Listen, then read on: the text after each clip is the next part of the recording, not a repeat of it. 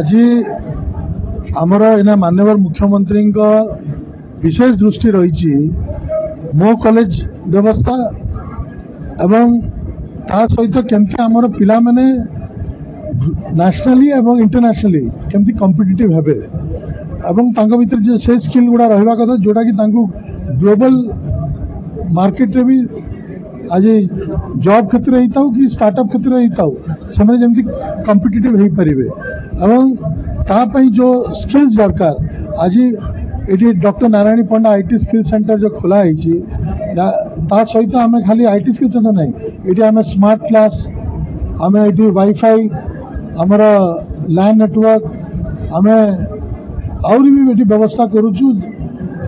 ଯେମିତି ଏଇଟା ନ୍ୟାସନାଲ୍ ଆଉ ଇଣ୍ଟରନ୍ୟାସନାଲ୍ ଲେଭଲ୍ର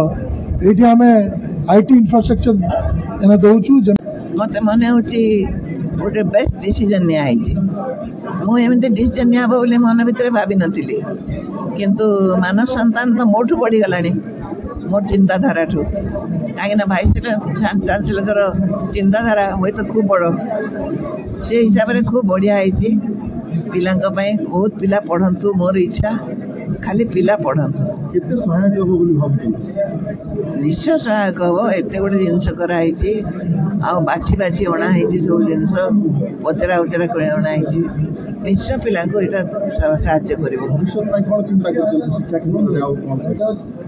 ଆଉ ଭବିଷ୍ୟତ କାହିଁ ମୋର ସେଣ୍ଟରଟା ହଣ୍ଡ୍ରେଡ଼ କମ୍ପ୍ୟୁଟିଂ ଫେସିଲିଟିସ୍ର ଆରମ୍ଭ ହେଇଛି ଆଉ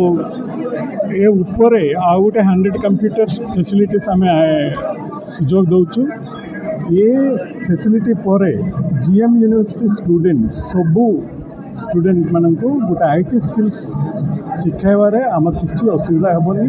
ସବୁ ଫେସିଲିଟି ସେଠି କ୍ରିଏଟ୍ କରାହେଲା ଆଉ ପିଲାମାନଙ୍କ ସେ ସ୍କିଲ୍ ଡେଭଲପମେଣ୍ଟ ପାଇଁ ହେଲ୍ପ ହେବ ଆଉ ଏମ୍ପ୍ଲୟବିଲିଟି ବି ଡେଭଲପ୍ କରିବ